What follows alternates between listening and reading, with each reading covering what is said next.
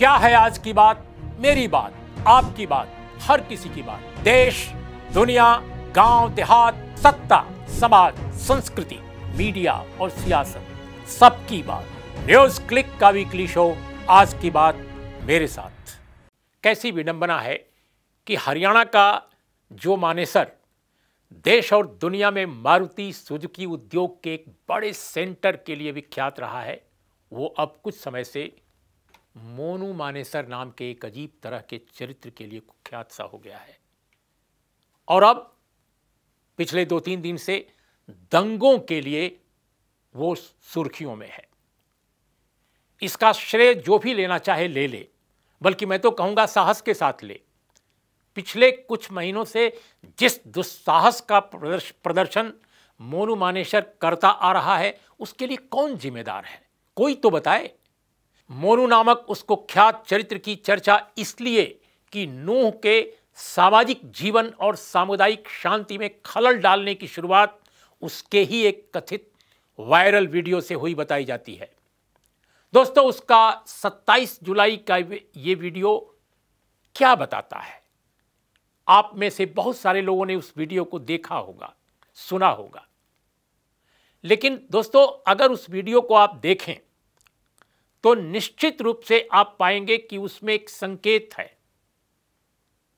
इससे पहले बता दें कि मोनू मानेसर अपने को बजरंग दल और गौ रक्षक दल से जुड़ा एक आदमी बताता है, एक पदाधिकारी कार्यकर्ता बताता है।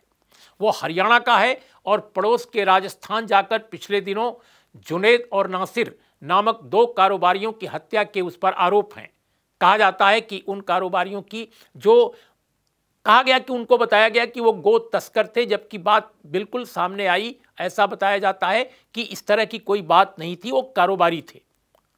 हत्या के समय से ही वो फरार है और अपने को बेगुनाह कहता है कहता है कि उसने ऐसा नहीं किया।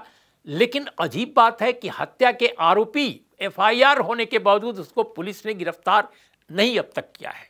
वो गिरफ़्तार नहीं हो सका, गिरफ़्तार नहीं किया गया, ये बात कोई नहीं जानता। लेकिन दोस्तों 27 जुलाई को उसने अपना कथित जो वीडियो रिलीज़ किया, नूह और आसपास के एक खास धर्म को मानने वाले लोगों का एक कथित, जो एक उनकी एक कथित धर्म यात्रा में शामिल होने का उसमें आह्वान था। बल्कि उसको शोभा यात्रा कहा गया। 31 जुलाई को ये जो कथित हिंदुत्ववादी संगठनों के आह्वान पर नूह के एक चौक से वो शोभा यात्रा निकल भी गई। यात्रा निकली और फिर नूह की शांति व्यवस्था तार तार हो गई। उसका नाम भले ही शोभा यात्रा था, पर इसके चलते पूरे इलाके में स्थितियाँ अशोभनीय हो गईं। भयानक स्थिति पैदा हो गई। हालात दोस्तों इतने खराब हुए कि दंगे, फसाद, आगजनी और हिंसा की चपेट में मनेसर ही नहीं नू ही नहीं, गुड़गांव के अन्य सेक्टर भी आ गए, जिसे मौजूदा सरकार ने गुरुग्राम नाम दे रखा है। गुड़गांव में सेक्टर सत्तावन के पास की एक मस्जिद को दंगाइयों की भीड़ ने जला दिया और उसके नायब इमाम को, नायब इमाम को बेरहमी से मार डाला। उनकी, उसकी उम्र कम बताई गई। बताया जाता है कि वो बिल्कुल युवा थे। प्रशासनिक सूत्रों के मुताबिक नूह और गुड़गांव मिलाकर अब तक इस इलाके में छः लोगों की हत्या हुई है, जिनमें होम गार्ड के दो जवान भी शामिल हैं। हमें दंगे के और भी ब्यौरे मिले हैं दोस्तों। पर हम ब्यौरे में जाने की बजाय नूह कांड की तह में जाना चाहते हैं। दोस्तों, अपने देश में ऐसी भयानक घटना सिर्फ़ हरियाणा के नूह और गुड़गांव में ही नहीं हुई है। अब न्यू इंडिया में हिंसक हादसों और नफरत के पागलपन में की जा रही हत्याएँ ज़मीन से लेकर रेलगाड़ी तक में होने लगी हैं। रेलगाड़ी भी सुरक्षित नहीं रह गई है। पहले डर लगता था कि रेल यात्रा में कोई दुर्घटना न हो जाए। लेकिन अब तो यह भी हो रहा है कि रेल यात्रा में हत्या न हो जाए। 31 जुलाई को ही महाराष्ट्र के मुंबई के पास चलती हुई जयपुर मुंबई सुपरफास्ट एक्सप्रेस में एक भयानक घटना हुई, जिसमें आरपीएफ के सब इंस्पेक्टर टीकाराम मीणा सहित चार लोगों की नृशंस हत्या कर दी गई। और हत्या करने वाला कोई और नहीं।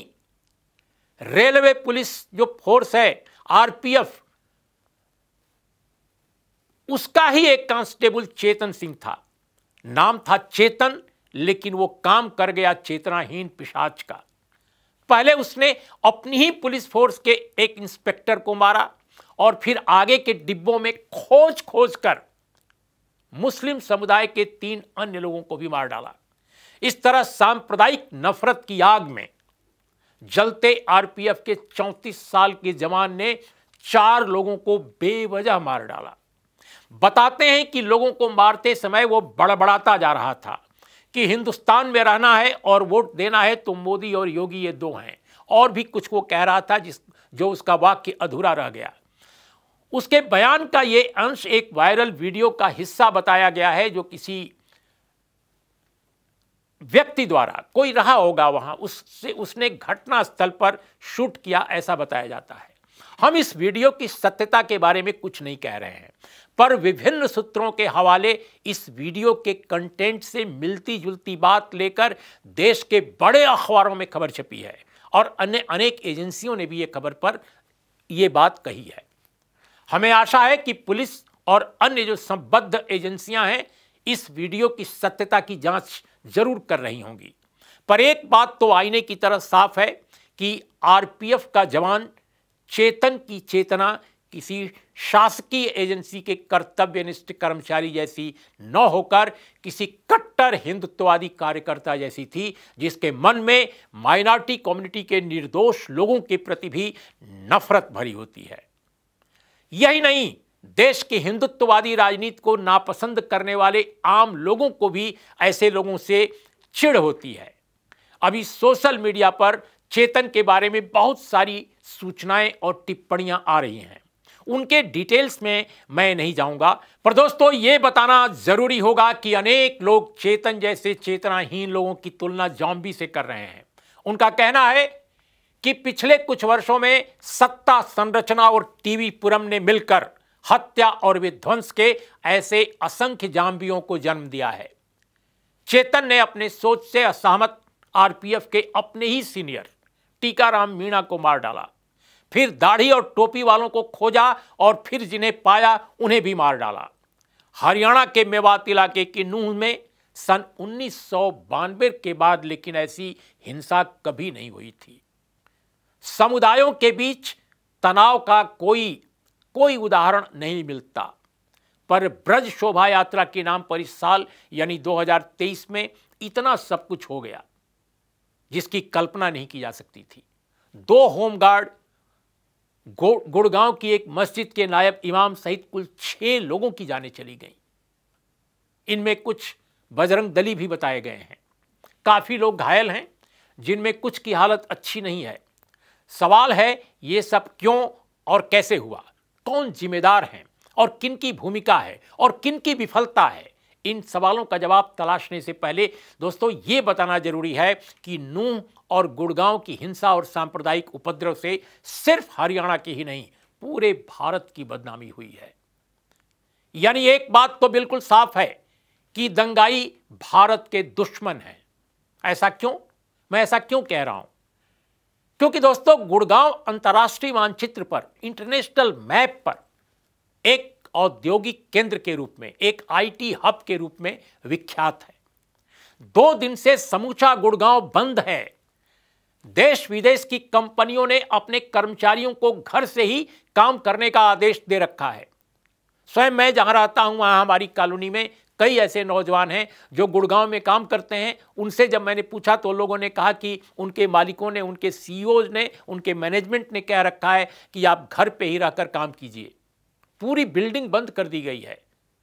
उनकी बड़ी बड़ी फैक्ट्रियाँ बड़े बड़े जो आईटी हब्स हैं बड़े बड़े जो उपक्रमों के दफ्तर हैं, उन पर ताला लग गया है। बहुत सारी कॉलोनियों में रहने वाले लोग जो हाई फाई लोग हैं, बड़े घरों के लोग हैं, उन्होंने ताला बंद करके घर में और वो दिल्ली की तरफ़ शिफ्ट कर गए हैं। कई लोग दूर के होटलों में जाकर रहने लगे हैं। क्यों? क्योंकि न जाने कब कोई भीड़ आ जाए, कब कोई आग लगा दे।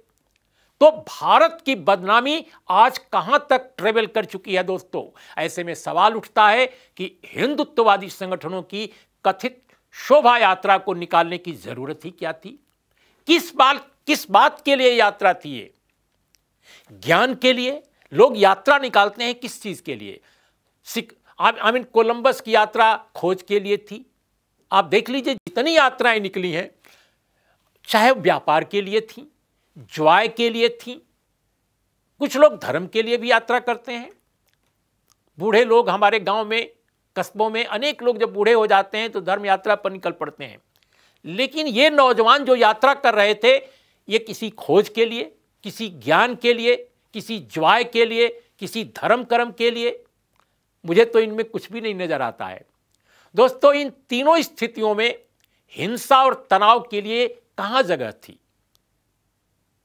मतलब मतलब आप देखिए, ज्वाय हो, धर्म हो, या खोज हो, ज्ञान हो, तीनों में कहीं भी तनाव की, हिंसा की, मार काट की तो जगह ही नहीं बचती है। तो ऐसे में मेरा यह कहना है कि ये सब क्यों और कैसे हुआ? हत्या के जो अभियुक्त है मोनू मानेसर, उस जैसे कुख्यात चरित्र के कथित जो वायरल वीडियो है और उस पर जो रिएक्शन दिखाई दे रहा था, उन सबके बावजूद पुलिस ने यात्रा को इजाज़त ही क्यों दी?